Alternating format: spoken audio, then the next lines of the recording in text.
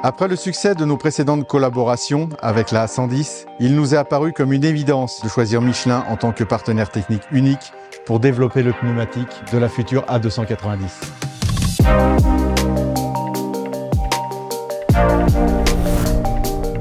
Philippe Mérimée, chef de service de la mise au point liaison au sol d'Alpine.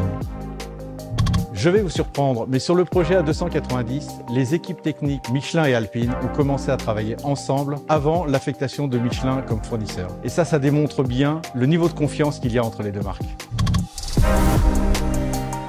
Fred Brigot, manager de compte technique Michelin pour Alpine.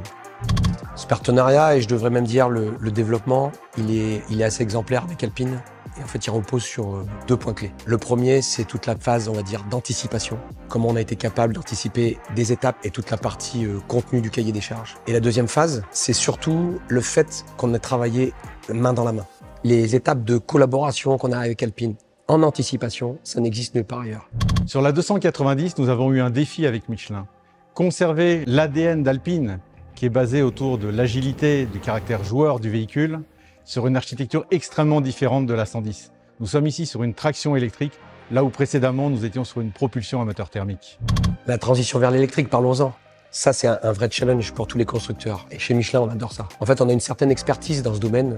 Et adresser un domaine tel que l'électrique, pour lequel on a des challenges techniques un peu spécifiques. On va parler de masse supplémentaire sur les véhicules, de couple une fois encore. Et tout ça, associé à de la dynamique bien particulière, nous oblige à, déployer des produits spécifiques. Et ça, clairement, on a les solutions technologiques.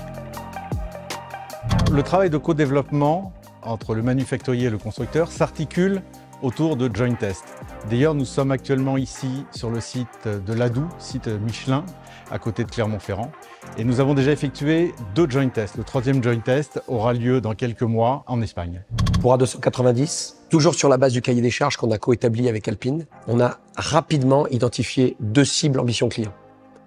D'un côté, c'est évident, c'est la sportivité, puisqu'Alpine est une gamme, euh, est une marque sportive. Donc, nous proposons aujourd'hui un produit qui s'appelle le Michelin Pilot Sport S5.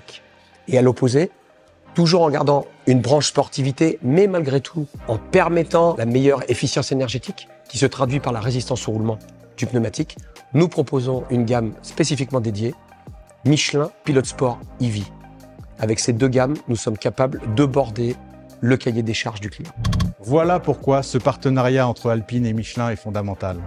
Vous retrouverez dans la 290 l'ADN d'Alpine, basé sur l'excellence de son comportement dynamique et donc de son pneumatique.